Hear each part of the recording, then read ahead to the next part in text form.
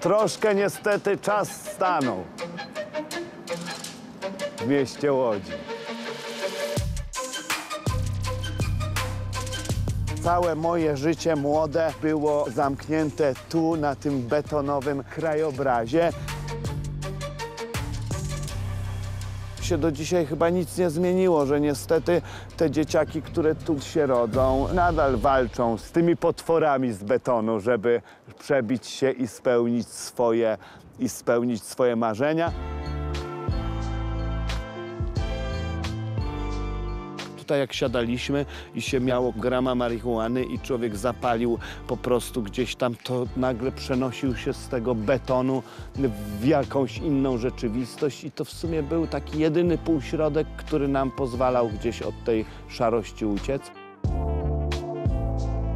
No ale wiadomo, takie substancje po pewnym czasie wystawiają ogromny rachunek i właśnie wielu tu moim kolegom wystawiły, łącznie z tym, że niektórzy potracili swoje życie. Kurde, nie no, jakieś takie przygnębienie mnie tu dopada, że to jest strasznie. Jezus, tu same traumy.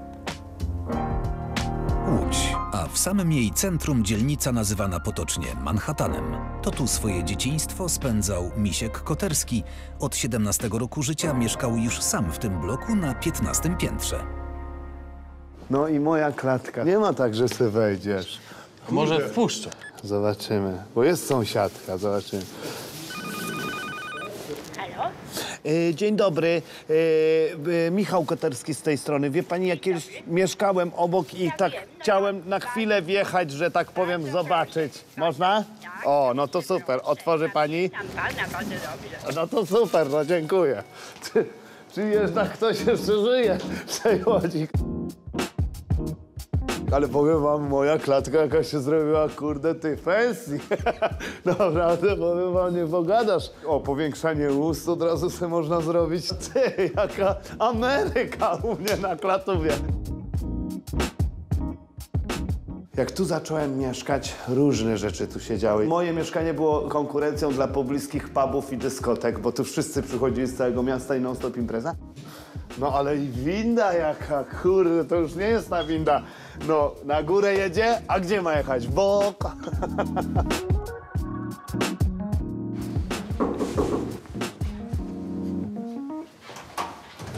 Michał. O, dzień dobry. Ale świetnie pani wygląda. No, dziękuję, No, dziękuję. naprawdę. Trzymam się. O, ja tylko czytam ostatnio. Jest pan znany teraz. tak?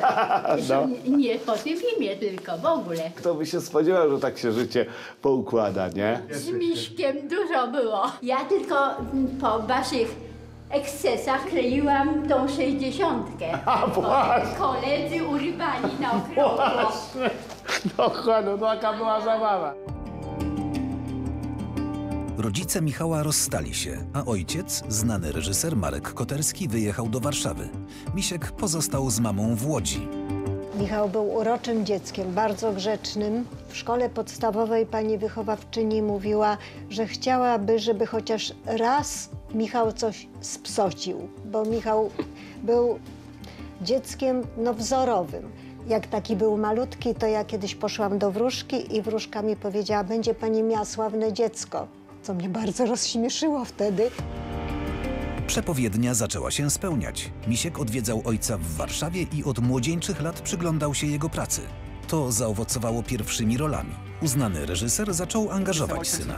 Misiek zagrał w takich filmach jak I Love You, Wszyscy jesteśmy Chrystusami czy kultowym Dniu Świra. Tyle napadów teraz.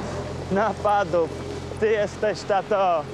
Zobaczymy, jak się ożenić i będziesz miał. Ja się nigdy nie ożenię. Łódź to nie tylko dużo mi zabrała, a tak naprawdę ja sam sobie zabrałem przez mój styl życia, a tak naprawdę dużo też mi dała, ukształtowała mnie. Też dużo takiej magicznej łodzi pokazał mi mój ojciec przez swój zawód i też chyba zaraził gdzieś we mnie to, że, że, że gdzie, tym aktorem chciałem zostać, e, bo, bo od dziecka jakby go w tym magicznym, filmowym świecie podpatrywałem.